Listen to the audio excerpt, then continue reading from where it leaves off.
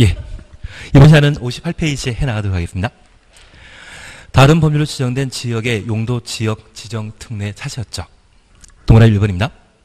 다른 법률에 따라 다음 각호 하나에 해당되는 구역으로 지정 고시된 지역은 지정 고시 추천했습니다. 이 법에 따른 도시 지역으로 결정 고시된 것으로 본다. 결정 고시 추천했습니다.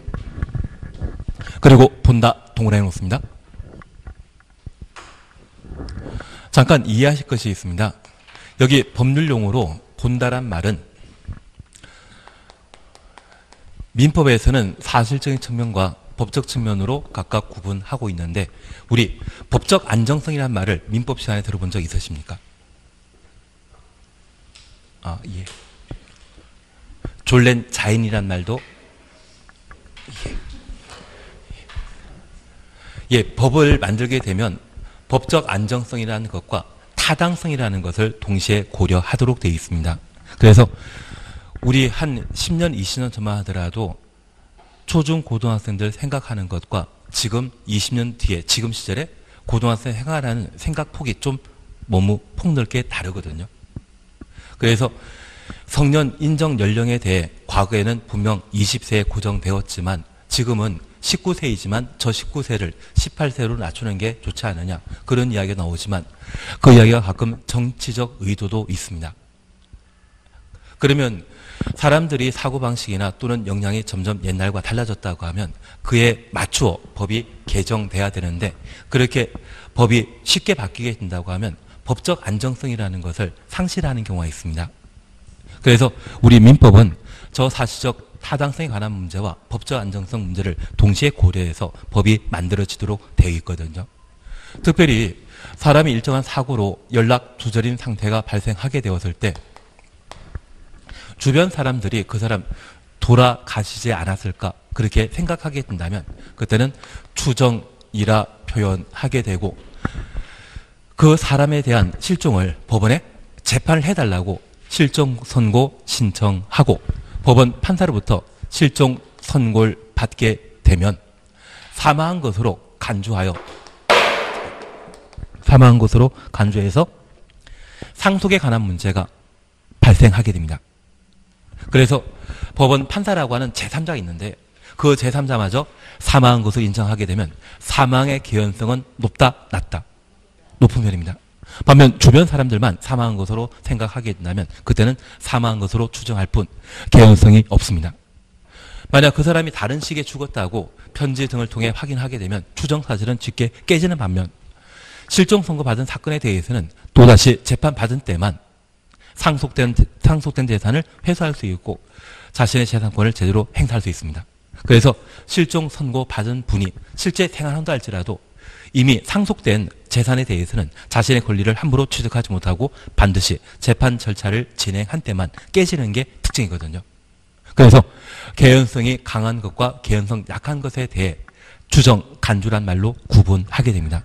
반면에 성년 의제란 말을 들어본 적이 있다면 미성년자랄지라도 결혼이라고 하는 법률 절차를 진행하게 된다면 사적 관계에 있어서는 성년과 동등한 행위 능력을 가지는 것을 특징하는데 그것을 의제라 표현하게 됩니다. 민법은 이 두 가지 측면을 동시에 고려하는 반면 우리가 공부하는 공법은 얘만 고려합니다. 법적 안정성만. 그래서 공법상 볼 수 있는 각종 본다란 표현은 모두 의제가 되게 되는 겁니다. 취지 조금 이해되시겠습니까? 그래서 우리 앞서 공유소멸 매립과 관련되어 이웃한 용도 지역의 지정 목적과 동일하면 준공 인가일날 매립에 대한 준공 인가일날 이웃한 용도 지역으로 지정된 것으로 본다.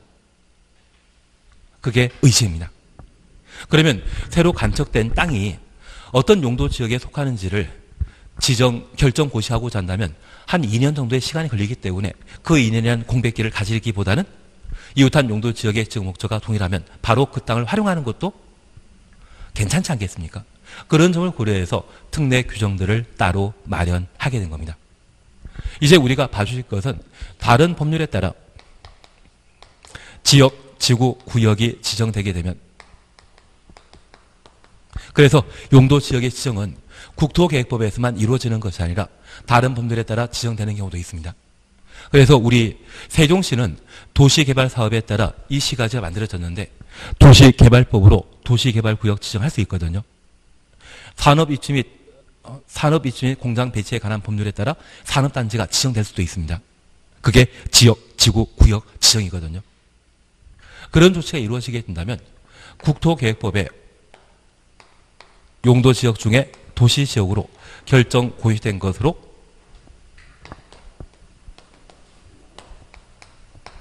의제하자. 그래서 우리가 잠깐 확인해 주실 것은 저 다른 법률에 따라 어떤 특정한 용도 지역이 지정되게 되면 국토계획법상 도시적으로 인정하는지 그에 관한 사안들을 봐주시는 게 필요하신 겁니다. 그러면 그러한 제도와 관련되어 우리 박스를 보시게 되면 1, 2 묶어놓습니다. 항만법에 따른 항만구역으로서 도시지역의 도시지역에 연접한 공유수면, 공유수면 주셨습니다. 이번 어천오항법에 따라 의왕구역으로 도시지역에 연접한 공유수면, 공유수면 주었습니다. 그러면 공유수면은 뭐다? 공유수면 뭐다? 바다. 그러면 우리가 잠깐 이해하실 것은 저 바다라고 하는 것은 물이 들어오는 것이 바다 되게 될 겁니다. 그리고 이 바다에는 배가 드나 들 수 있는 포구시설이나 항만시설 등을 설치하게 되는데 고깃배가 들어오는 항구는 어항이고요. 화물선이 들어오는 항구는 항만이 되게 됩니다.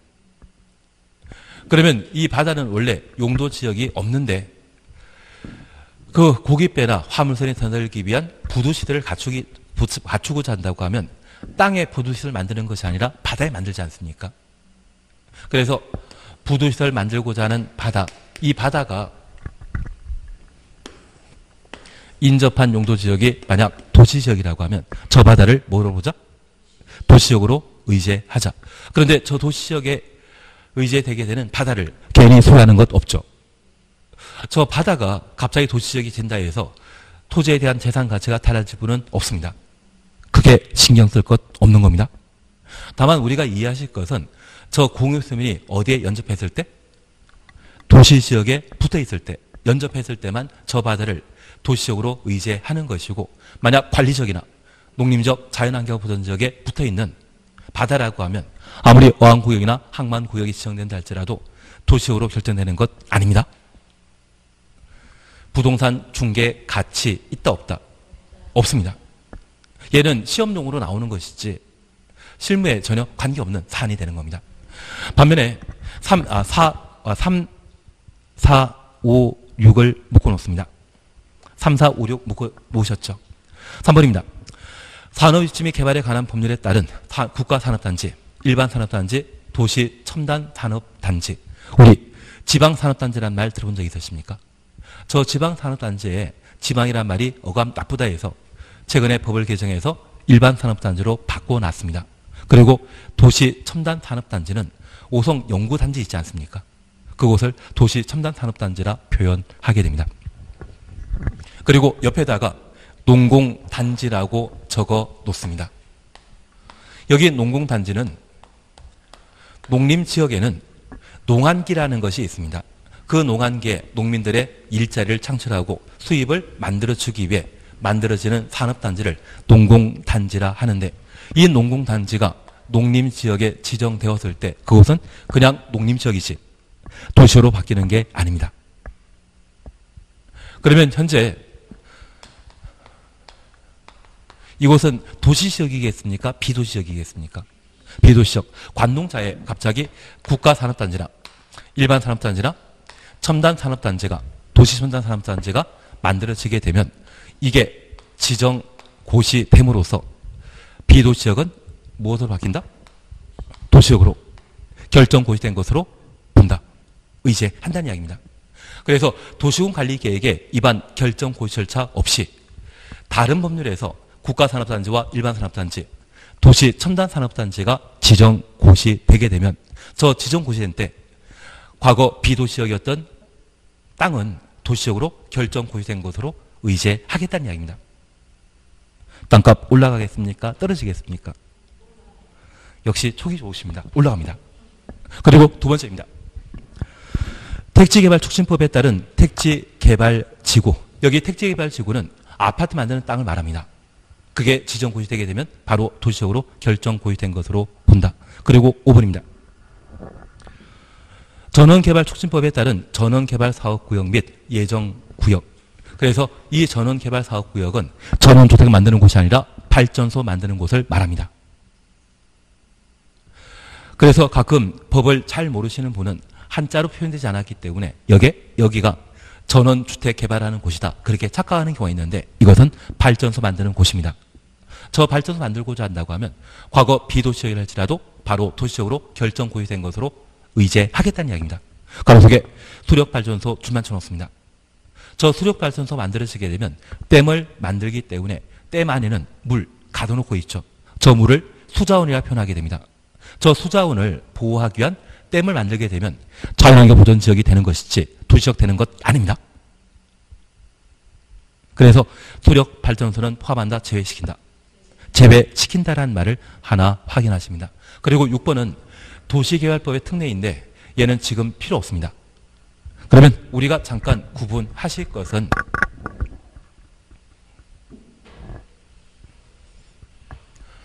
다른 법률에 따라 도시, 다른 법률에 따라 지역, 지구, 구역이 지정 고유되었을 때 도시역으로 결정 고유되는 것은 공유 수면이 도시 지역으로 바뀌게 되는 의왕구역, 항만구역.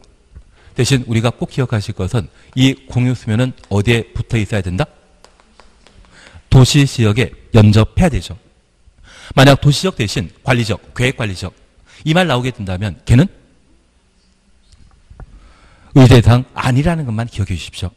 그리고 우리 시험 볼 때까지 꼭 기억하실 친구 이름이 있습니다. 전산택입니다. 그래서 전원개발 사업구역이 지정 고시되게 되면 해당 지역은 도시적으로 결정 고시된 것으로 본다. 수력 발전소는 포함한다, 제외시킨다. 제외시킨다라는 것 기억해 주셔야 됩니다. 그리고 산업단지란 말을 우리가 함께 보셨는데 이 산업단지와 관련되어서는 농공단지를 포함한다, 배제한다. 농공단지를 제외한 국가산업단지, 일반산업단지, 도시 첨단 산업단지가 지정 고시되게 되면 해당 지역은 도시로 결정 고시된 것으로 보게 됩니다. 그리고 택지 개발 지구라는 말을 우리가 보셨습니다. 저 택지 개발 지구가 지정 고시 되게 되면 해당 지역은 도시로 결정 고시된 것으로 본다. 그러면 간혹 우리 주변에 농림 지역에 속한 토지 소유자가 자기 땅이 한 20년, 30년 넘도록 계속 농사만 짓고 있는데 그 땅을 금매로 또는 자녀분의 학자금 등을 마련할 목적으로 처분하고자 합니다. 그리고 그분이 나를 찾아오게 되었을 때 나는 기본적으로 그래 팔아줄게 그걸로 끝나시는 게 아니라 항상 뭐 열람하실 겁니까? 토지 이용 계획 확인서. 더 토지 이용 계획 확인서를 열람하시게 되면 이 토지 이용 계획서는 그 토지에 대한 이력서입니다. 그 토지에 택지 개발 촉진법에 따라 택지 개발 지구가 지정되었다고 하면 토지용 계획 확인서에는 분명 농림조로 표기되어 있지만 다른 법률에 의한 지역 지구 구역의 표기 난으로 택지 개발 촉진법에 따른 택지 개발 촉진 지구가 택지 개발 지구가 표기되어 있습니다. 지금은 액면에는 농림 지역이지만 이 본질은 뭐다? 도시 지역이거든요. 그러면 농림조 생각해서 처분해 달라는 분은 평당 만 원 또는 10만 원에 파달라 하시지만 그 본질이 도시 지역에 속하는 것을 내가 알게 된다면 나는 그 가격에 팔아준다? 상세하게, 상세하게 더 이상 이곳은 농림 지역이 아니라 농사 짓는 곳이 아니라 향후 3년, 5년 안에 아파트 만드는 땅으로 바뀔 거다. 상세하게, 친절하게 알려준다. 역시 우리는 다들 좋은 마음을 가지고 있기 때문에 알려준다는 이야기를 하실 거죠. 가끔 그냥 냉큼 먹는 사람도 있으십니다. 예. 그리고 우리 판교라고 하는 곳 들은 적 있으시죠? 그 오송이라고 하는 것이 도시 첨단 산업단지에 해당되는데 이때는 굴뚝 공장이 들어가지 않습니다. 그리고 연구단 중심으로 개발되게 된다면 주변 지역에는 아파트나 또는 백화점 등의 여러 가지 주거 공간과 상업 시설들이 만들어지게 되거든요. 얘라면 절대적으로 가치 높습니다. 그리고 지금 제 우리 수업 시간 중에 계속 이야기 드리는 게 하이닉스 반도체 공장 이야기 드리고 있거든요. 그 반도체 공장이 들어가는 곳이 일반 산업단지입니다. 그래서 우리 부평 지행 공장이라는 말 들어본 적 있으시죠? 군산 폐쇄한 지행 공장, 공장 터가 일반 산업단지입니다.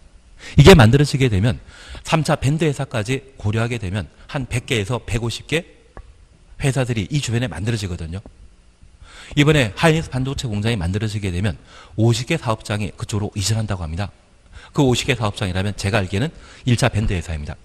2차, 3차 밴드 회사는 이곳에 못 들어갑니다. 너무 규모가 작다 해서. 대신 그런 관련 공장들까지 다 들어가게 된다면 규모 큰 곳으로서 주변 지역의 가치는 아마 달라지게 될 겁니다. 그래서 우리가 항상 주의해 보실 것은 제2 경부고속도로가 만들어지게 되었을 때 여러 인터체인지 있거든요. 그 인터체인지가 한 다섯 곳 예정되어 있는데 그 인터체인지마다 주변이 어느 정도 비개발된 땅이라고 하면 어느 정도 입지를 보는 안목이 되어지다고 하면 어느 정도의 뭐가 들어갈 것인지 좀 상상할 수 있거든요. 그런 부분에 대해 한 번씩 봐주시는 게 필요하십니다. 그래서 우리가 기억하실 것은 얘는 본질은 액면상에는 분명 농림적이나 자연환경 보전적 관리적으로 표기되어 있지만 다른 법률에 따라 이런 것이 지정 고시된 상태라면 걔는 무엇으로 본다? 도시적으로 결정 고시된 것으로 본다. 대신 지금 생략하는 것은 어디까지 생략해 줍니까? 결정만 고시까지. 고시까지 다 생략해 주는 겁니다. 그거 잡아주시는 게 필요하십니다. 그리고 두 번째입니다. 이번 관리 지역에서 용도 지역의 지정 특례 차셨죠. 관리적 동그라미 놓습니다. 농지법에 따른 농림 아, 농업진흥 지역으로 농업진흥 지역 추놓습니다. 지정 고시된 지역은 이 법에 따른 농림 지역으로 농림 지역 추놓습니다. 관리적 산림 중에 관리적 동그라미 놓습니다. 산지관리법에 따른 보전 산지로 지정 고시된 지역은 그 고시 구분에 따라 이 법에 따른 농림지역 자연환경 보전지역으로 결정 고시된 것으로 본다. 농림지역부터 고시까지 가로 해놓습니다. 그리고 결정 고시 추천했습니다. 그러면 두 번째 우리가 봐주실 것은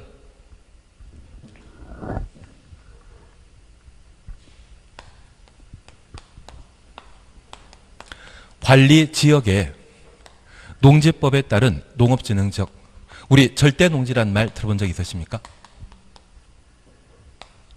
저 농업진흥지역이 지정 고시되게 되면 해당 지역은 농림지역으로 결정 고시된 것으로 본다.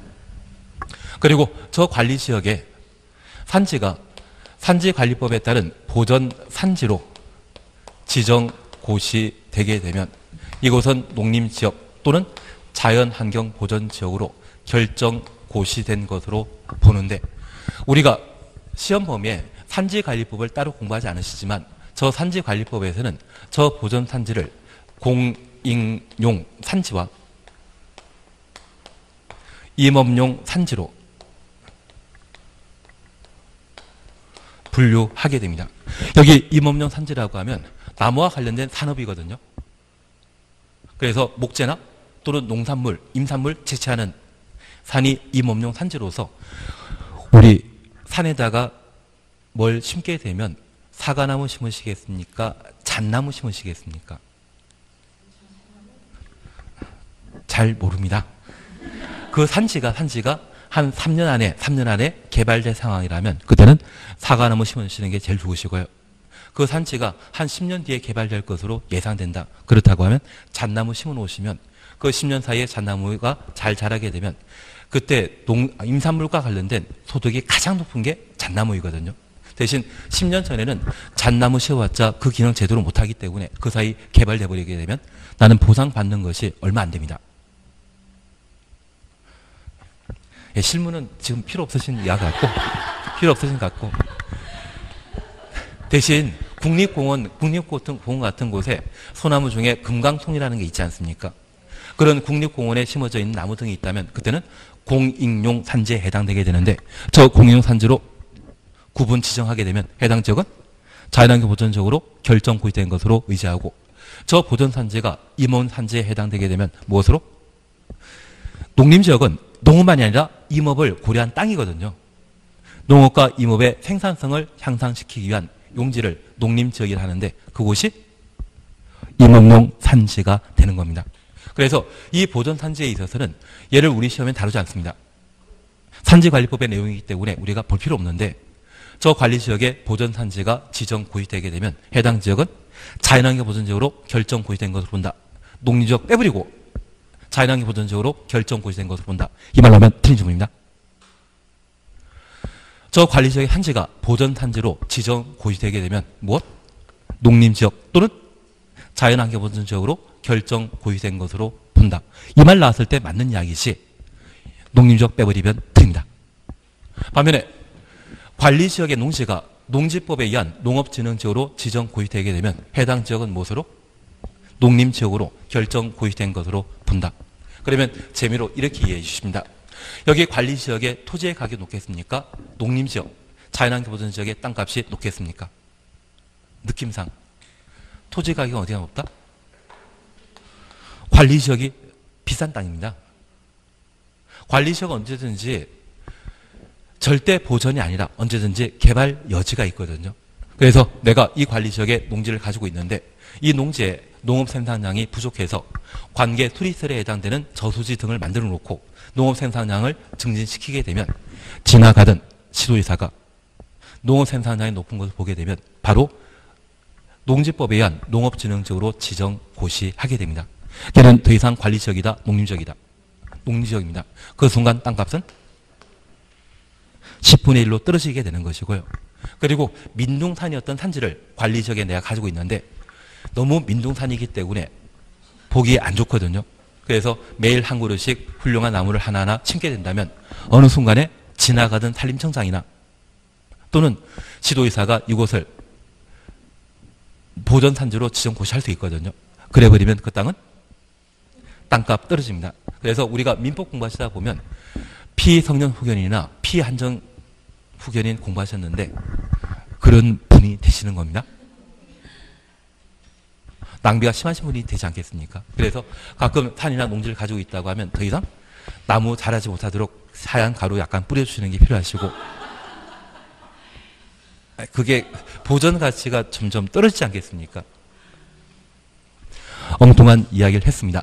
그래서 우리가 결론을 잠깐 채려주실 것이 있는데 비도시역이 도시로 바뀌는 거 가능합니다. 그리고 관리지역이 농림지역, 농림지역 또는 자연환경보전지역으로 바뀌는 건 가능한데 관리지역으로 바뀌는 건 있다 없다. 관리지역으로 바뀌는 것 없습니다. 그래서 비도시역이 도시역으로 바뀐다고 하면 관농자가 도시역이 된다는 이야기고요. 그리고 관리 지역이 농림지역 자연환경보전지역으로 바뀔 수 있지만 저 농림 지역이 관리 지역으로 도시역이 관리적으로 바뀌는 것은 있다 없다? 없습니다. 그래서 만약 시험에 농업진흥 지역이 해제되었을 때 관리 지역으로 결정 고시된 것으로 본다? 관리 지역에 농지가 농업진흥 지역이 지정되면 농림 지역으로 결정 고시된 것으로 의제는 하지만 저 농림 지역에 농업진흥 지역이 지정되었다가 해제되면 풀린다고 하면 그것은 관리지역으로 결정 고시된 것으로 본다? 그 말 없습니다. 그래서 관리적으로 바뀌는 것은 있다 없다. 없다. 그거 잡아내시는 게 필요합니다. 그래서 가장 중요한 것은 전산택입니다. 전원개발사업구역에는 수력발전소 포함한다, 배제한다. 배제된다라는 거 기억하시고 산, 산업단지에는 동공단지에 포함되는 거 아닙니다. 농공단지 빠진 국가산업단지, 일반산업단지, 도시 첨단 산업단지가 지정 고시되었을 때 도시로 결정 고시된 것으로 본다. 그리고 택지개발지구라는 말 기억나십니다. 그게 지정 고시되었을 때 도시로 결정 고시된 것으로 본다. 그것 잡아주시는 게 필요합니다. 그런데 우리 전산택과 관련되어 잠깐 이해하실 것이 있습니다. 저 전산택이 지정되게 되면 개발사업 해야 되죠. 국가산업단지 지정되게 되면 공장 만들어야 될 겁니다. 택지 개발지구로 지정되게 되면 아파트 만드는 사업이 이루어져야 되는데 그게 무산될 수 있죠. 만약 무산된다고 하면 종전 용도 지역으로 환원돼야 되지 않겠습니까? 그리고 두 번째입니다. 우리가 알고 있는 택지 개발 지구는 영원히 택지 개발 지구가 아닙니다. 택지 개발 사업이 모두 완료되게 되면 택지 개발 지구 해제되거든요. 그래서 개발 사업의 목적이 완성되었다고 하면 종전 용도 지역으로 환원된다? 그냥 쭉 도시지역이 된다. 쭉 도시 지역이 돼야 된다. 조금 이해하시겠습니까? 갑자기 머리가 좋아 보이십니다. 집에 빨리 가려고 그러시는 거죠? 4번입니다. 4번 용도 지역의 환원 봐주십시오. 4번 용도 지역 환원 찾았습니까? 동그라미 1번 도시 지역으로 간주되는 구역 등이 해제되는 경우 그래서 도시적 동그라미 놓습니다. 도시 지역으로 의제되는 구역이 해제되는 경우 이 법 또는 다른 법률에서 그 구역 등이 어떤 용도 지역에 해당되는지를 따로 정하고 있지 아니한 경우 이를 지정 이전에 용도 지역으로 환원된 것으로 본다. 지정 이전에 용도 지역 가로 해놓으시고 환원 동그래 놓습니다. 그래서 종전에 농림 지역이었는데 택지 개발 지구가 지정되었다면 택지개발지구가 지정 고시된 때 해당 지역은 도시지역으로 지정 고시된 것으로 의제했지만 저 택지개발 사업이 무산되었다고 하면 계속 도시로 남아있는다? 종전 용도 지역으로 돌아가야 된다. 돌아가야 된다. 그게 환원이 되게 됩니다. 이해되시겠습니까? 그런데 가로속을 잠깐 해보시니 개발 사업이 완료되어 해제된 경우 개발 사업 완료 주청 없습니다. 제외한다. 개발 사업이 완료되었다고 하면 종전 용도적으로 하는 것 아닙니다. 그래서 매번 시험에 나오게 된다면 택지 개발 사업 등이 완료되어 택지 개발 지구가 지정된 때 종전 용도 지역으로 환원된다. 환원된 것으로 본다. 이 말 나오면 드립니다. 개발 사업 완료되어 택지 개발 지구가 해제되었다고 하면 그때는 도시로 계속 남아 있는 것이지 용도 지역이 환원되는 게 아닙니다. 이해 조금 되시겠습니까? 저는 올해 시험 나올 게 예라 생각합니다. 그래서 양가로 이번에 용도 지역 지정 특례에 대해서는 무조건 잡고 넘어가셔야 됩니다. 한 장 넘기시면 한 장 넘기시면 용도 지역의 지정 효과 행위 제한을 볼 수 있습니다.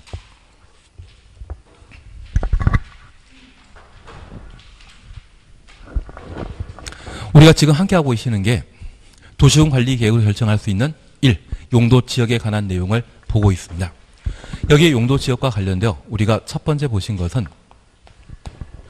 내가 도시군 관리 계획의 결정권자였을 때 어디를 어떤 용도 지역으로 지정할 것인지 그래서 만약 중화학 공장이 만들어져 있는 땅이 있다고 하면 걔는 전원공업소로 지정해야 될 것이고 우리 세종시에 도심 부도심이라 불리는 곳이 있다고 하면 중심 상업적으로 지정할 필요가 있는 겁니다. 그리고 우리 세종시에 15층짜리 아파트가 들어서 있는 곳이 있다면 그리고 주변에 24시 편의점이 많이 즐비한 곳이라고 하면 살기 참 편한 곳이거든요. 그러한 곳이라면 이종 일반 주거지역으로 지정할 필요가 있는 겁니다. 그게 용도지역 지정할 수 있는 대상인데 지금 좀 이렇게 건너뛰더라도 우리가 모의고사 몇번 보고 다음 주에 문제를 만들어 드릴 거거든요. 그 문제 풀어보다 보면 용도지역과 관련되어 계속 반복되다 보면 몇개 되실 겁니다. 그리고 이러한 용도 지역을 지정하는 절차는 도시군 관리 계획의 결정권자인 결정권자는 시장 분석 끝나는 것입니까? 대도시장 끝나는 것입니까? 대도시장. 시장 분석 끝난다고 하면 입안권자입니다. 그래서 국토교통부 장관 지도이사 대도시장이 도시군 관리 계획으로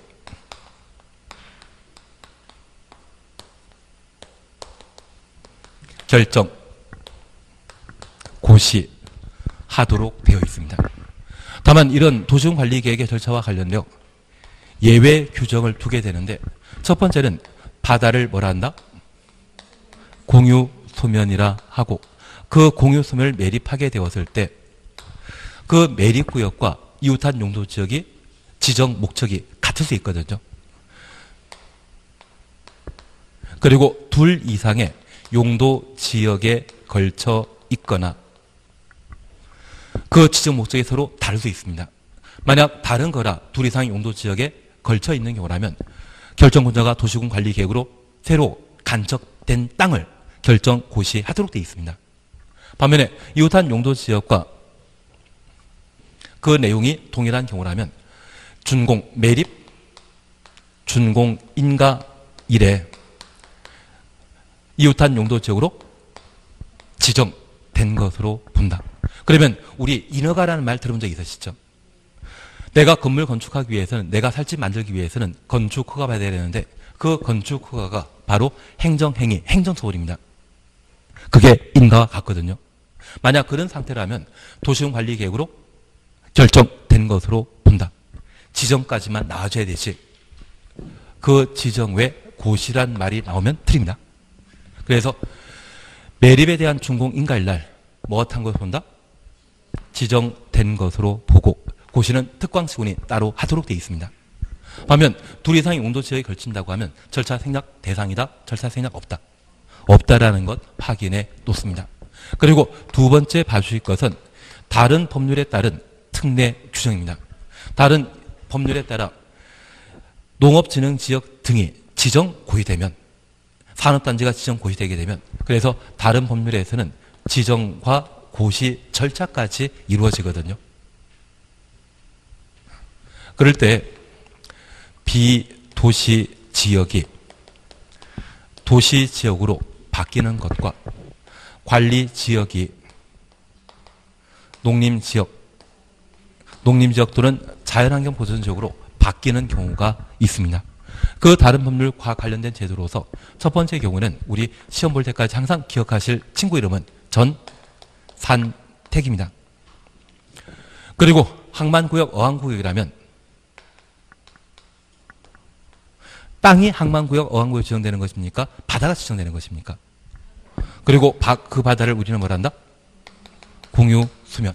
그래서 항만구역, 어항구역이라는 말 보이게 되면 도시적에 연접한 도시적에 붙어 있는 공유 수면이 도시적으로 결정 고유된 것으로 본다. 전산택 기억나셔야 됩니다. 전원개발사업구역이라면 수력발전소는 포함되지 않는다는 거 기억하시고 산, 산업단지입니다.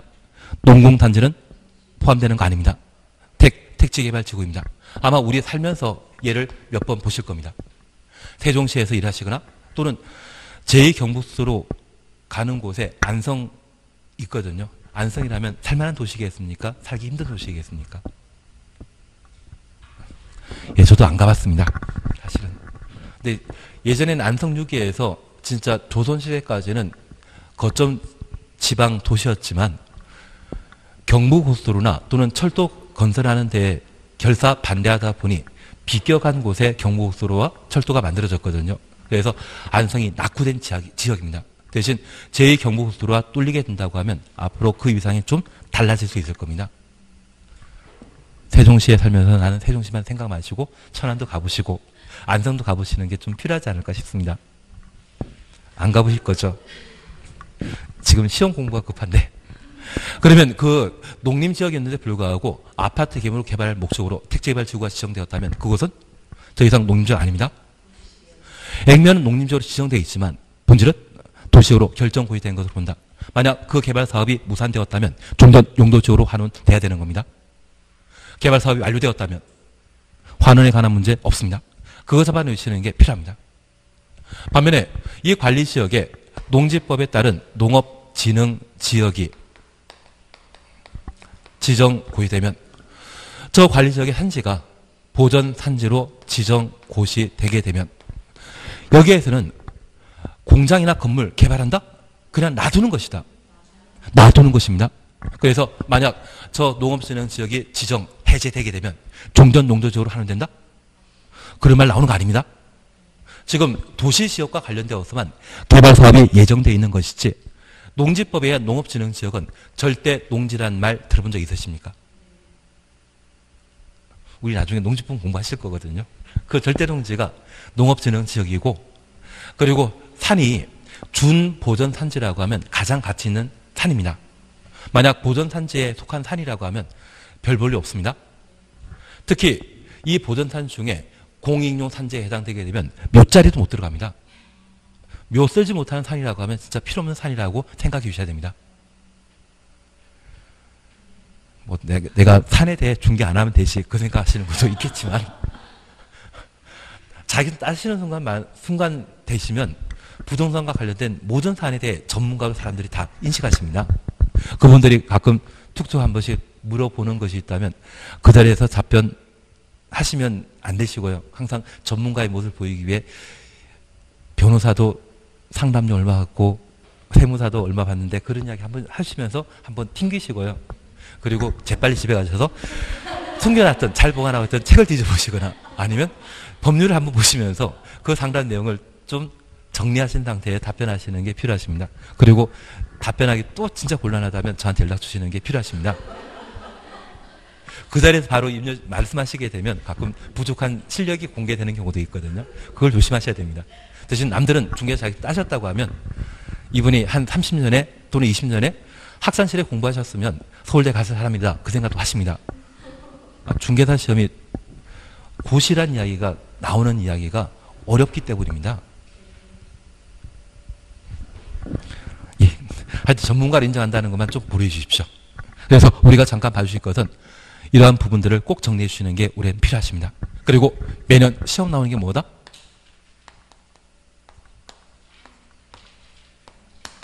행위 제한입니다. 여기 행위 제한과 관련되어 우리 양가를 1번 5분 남았는데 얘는 할 수 있을 것 같습니다. 양가를 1번 용도 지역에서의 건축 제한 찾으셨죠.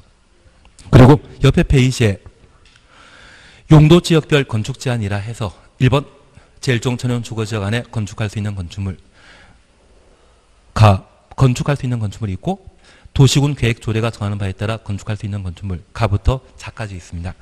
이게 21개가 있습니다. 그리고 작년에 여기에서 두 문제가 시험에 나왔거든요. 아, 작년 시험에 나왔거든요. 올해는 시험에 나온다 안 나온다. 앞서 제가 말씀드린 게 매년 시험 나오는 게 여기라 말씀드렸습니다. 그래서 가끔 혼자 독학하는 분이 여기가 매년 시험 나온다 해서 얘를 어떻게든 정리해 보려고 하셨는데 제가 아는 분은 3개월 동안 학원 안 나오시고 혼자 얘를 보셨다고 합니다. 그리고 책을 집어 던지면서 포기했다 하시더라고요. 이거 공부하신 거 아닌, 아닙니다. 대신 우리가 잠깐 확인해 주실 것이 있습니다. 작년에 시험에 나왔지만 우리가 꼭 여섯 가지 건축 제한에 관한 사항은 따로 정리해 주실 필요가 있습니다. 그래서 우리 81페이지 보시게 되면 우리 교재에서는 일부 정리해 놓은 게 있는데 81페이지 찾았습니까? 저는 요것만 딱 해버리고 오늘 끝내, 끊으려고 합니다. 우선 위락설이라는 말 찾으셨죠? 양가로 2번 바로 위에. 위락설 설치할 수 있는 용도 지역은 어디만? 상업지역만. 그리고 아파트 건축할 수 있는 용도 지역 찾으셨는데 아파트는 작년에 시험에 나왔습니다. 그래서 올해 시험 안 나올 겁니다. 그런데 이 아파트와 관련되어서는 어느 정도 해놓으셔야 됩니다. 그래서 아파트 건축할 수 있는 용도 지역과 두줄 밑에 아파트 건축할 수 없는 용도 지역 얘는 묶어 놓으시고 단독택 건축할 수 없는 용도 지역 찾으셨죠. 유통상업 지역과 전용공업 지역 찾았습니다. 예, 잠깐 얘만 봐놓습니다. 여기 행위 제한과 관련되어서는 용도 지역에는 토지 소유자가 다양한 형태의 건물을 건축하게 될 겁니다. 그래서 내가 살 집을 지을 수도 있고 상가 만들 수도 있고 공장 만들 수도 있을 겁니다. 그런데 개별 용도 지역 중에 건물 건축할 수 있는 땅이 있고 건물 건축 못한 땅이 있거든요. 그런 규제를 건축 제한이라 표현합니다. 그리고 그 건물의 크기는 건축 면적과 연 면적으로 규모를 설명하게 되는데 그 건축 면적과 연 면적을 좌우하는 제도가 건폐율과 용적률이 되게 됩니다. 크기를 좌우하는 것은 뭐다? 건폐율, 용적률이고 건물 건축한다 못한다. 그걸 결정하는 것은 뭐란다? 건축 제한이 되게 됩니다. 그러면 첫 번째 우리 이미 알고 계신 것 중에 위락시설을 건축할 수 있는 용도 지역은 어디에서만? 상업지역만. 그러면 상업지역을 제외한 공업지역이나 주거지역에는 위락시설 건축할 수 있다 없다? 없습니다. 근데 하나 버닝썬이라는 거 들어본 적 있으십니까? 걔는 위락설이다 일반 음점이다. 일반 음점입니다. 일반 음점으로 해서 다양한 편법을 동원했다고 생각하시면 됩니다. 나중에 살다 보면 우리도 불법은 아니지만 탈법 행위를 하시게 될 겁니다. 탈법에 대해서는 크게 이슈만 안 된다고 하면 그냥 묻혀 지나가더라고요.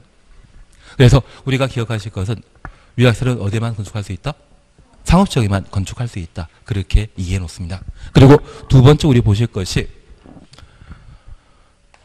주거 형태는 단독주택과 공동주택으로 나뉘는데 현재 단독택은 광의 단독택이라 하고 이 광의 단독택에는 우리 주변에 1층, 2층짜리 협의 단독택과 하숙집이라 불리는 다중주택, 상가주택이라 불리는 다가구택, 그리고 세장, 어, 세종시장이나 국무총리가 살고 있는 관저.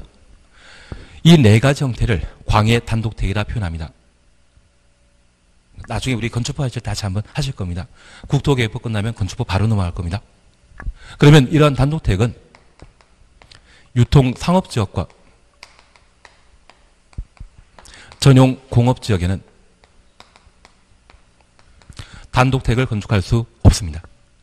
여기 유통상업지역은 고속버스 터미널이나 농산물 도매시장 주변인데 24시간 내내 대형 차량이 드나들기 때문에 소음이 심각합니다.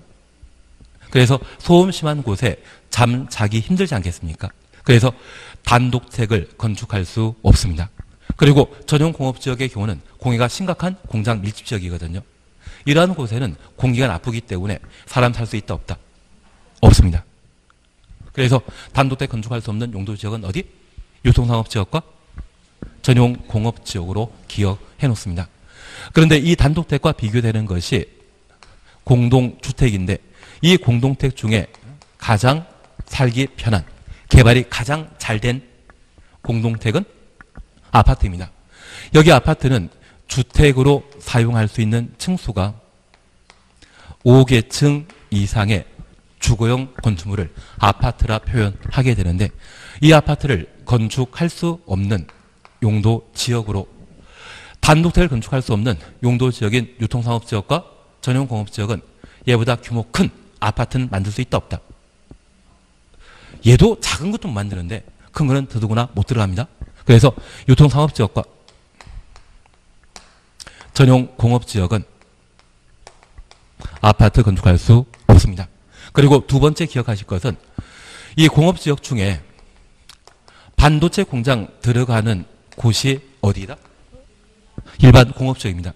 그러면 그 반도체 공장은 규모 큰 것인데 아파트는 규모 크다 작다? 규모 큽니다. 큰 공장 들어갈 장소에 규모 큰 아파트는 건축할 수 없습니다. 그래서 유통상업지역과 전용공업지역, 일반 공업지역은 도시역의 추상공에 해당된다 할지라도 아파트를 만들 수 그렇게 잡아 주셔야 됩니다. 그리고 두 번째 우리 이해하실 것이 있습니다. 우리가 다 공부 안 하셨지만 그냥 대충 지나가셨지만 1, 2월 달 동영상 들어보실 거죠. 일종 전용 주거 지역은 단독택 중심의 양환, 주거안전을 보호하기에 지정한 용도 지역인데 아파트는 단독택입니까? 공동택입니까? 공동택이기 때문에 일종 전용 주거 지역에는 아파트 건축할 수 없습니다. 얘는 단독택 중심으로 개발하는 곳입니다. 그리고 두 번째, 일종 일반 주거 지역인 때 아파트 건축할 수 없습니다. 여기 일종 일반 주거 지역은 저층 주택, 저층이라면 몇 층 이하이다? 4층 이하입니다. 아파트는 주택을 사용 층수가 5개층 이상이기 때문에 여기 못 들어갑니다. 그리고 마지막 기억하실 것이 저 아파트는 개발의 상징인데 우리가 알고 있는 녹지 지역, 관리 지역, 농림 지역, 자연환경 보전 지역은 개발 용도입니까? 비개발 용도입니까? 비개발 용도이기 때문에 개발의 상징인 아파트를 건축할 수 없습니다. 그래서 작년에 처음에 나온 것이 계획관리 지역에 아파트 건축할 수 있다. 그거 물어보면 계획관리 지역에는 아파트 건축할 수 있다 없다? 없습니다. 지구 단위 계획구역 지정되면 가능하겠지만 그냥 계획관리 지역 자체는 아파트 개발할 수 없습니다. 그리고 자연 녹지 지역이 있거든요. 자연 녹지 지역도 아파트 개발할 수 없습니다. 그리고 이제 두 개만 더 해주십시오.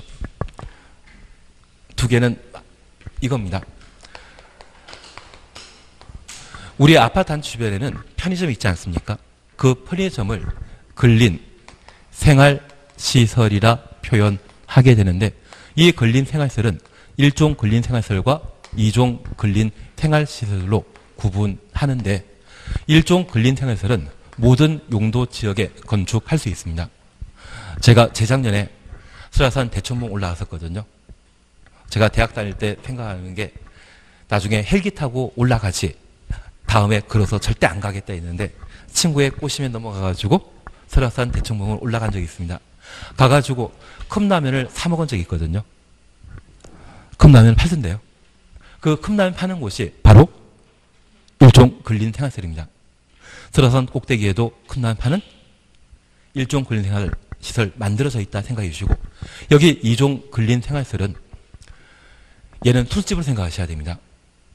가끔 주택가 주변에 저녁 때 방문하다 보면 돌아다니다 보면 간판에 네온 사인 간판에 화려하게 정인연 장밋빛 인생 이런 게 적혀져 있는 곳이 있거든요.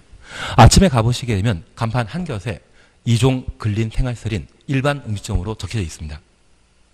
술집은 뭐다? 이종 근린 생활 시설입니다. 여기 이종 근린 생활시설은 조용한 주택가에 건축할 수 없습니다.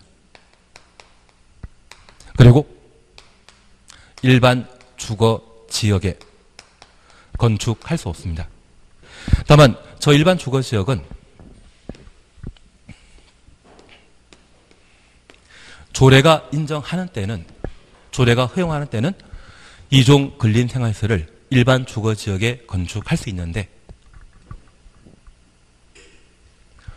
법령상은 일반 주거 지역에도 이종 근린 생활시설을 건축할 수 없다. 대신 지금은 이렇게만 봐놓는 겁니다. 그리고 제가 하나 알려드릴 게 있습니다. 저 이종 근린 생활시설 중에 교회나 성당이나 사찰이 있습니다. 얘를 종교 집회장이라 표현하는데 그 바닥 면적 합이 500제곱미터 미만인 경우는 이종 근린 생활시설이거든요. 그런데 이 교회는 모든 용도 지역에 건축할 수 있습니다. 그래서 예전에 나문이라고 하는 여사님께서 청년 청룡 여우 대상을 받으시면서 수상 수감하시는 게 어머니 믿으시는 부처님과 자기가 믿 아, 어머니 믿으시는 하나님과 자기가 믿는 부처님께 수상 영광을 돌리겠다 하시더라고요. 하나님 우리 주변에 항상 존재해야 되지 않겠습니까? 지금 뭔 짓 하는지 서로 잘 모릅니다. 그래서 제가 부탁드릴 것은 우리 시험에 매번 나오는 게 얘거든요. 그래서 얘는 28회 때 시험에 나왔고 29회 건너뛰었지만 30회 때 시험에 나올 것이 바로 이종 근린 생활설과 관련된 건축 제안을 정리하는 게 필요할 겁니다. 그리고 이제 마지막으로 얘만 하나 하고 끝내십니다. 초중 고등학교 있지 않습니까? 예, 예, 이걸로 끝나십니다. 초중 고등학교는 전용 공업 지역에 건축할 수 없습니다. 그러면 학교에는 체육 시간이라는 게 있는데 전용 공업 지역은 공기가 참 나쁘거든요. 방독면 쓰고 운동장에서 달리기 할 수 있다. 그래서 학교는 전용 공업 지역에 건축할 수 없다. 그래서 마지막으로 유작설 상업지역에만 건축할 수 있습니다. 아파트와 단주택은 작년에 아파트 시험에 나왔기 때문에 올해 시험에 안 나올 겁니다. 그래서 얘는 그냥 모의고사용으로 파악해 주는 겁니다. 그리고 두 번째 우리 봐주실 것이 이종 근린 생활설은 전용 주거 지역에는 건축할 수 있다 없다? 없다. 그리고 일반 주거 지역은 법령상 불가능한데 조례에서는 가능하다. 얘는 천천히 문제 풀어나가면서 우리 정리해 주시는 겁니다. 그리고 학교는 어디는 만들지 못한다? 전용 공업지역. 예, 저것만. 아무래도 제가 따로 한번 자료 만들어 드려야 되죠. 표정이 그런 것 같습니다. 오늘 여기까지 하시고 다음 주에는 건폐율부터 해 나가도록 하겠습니다. 수고하셨습니다.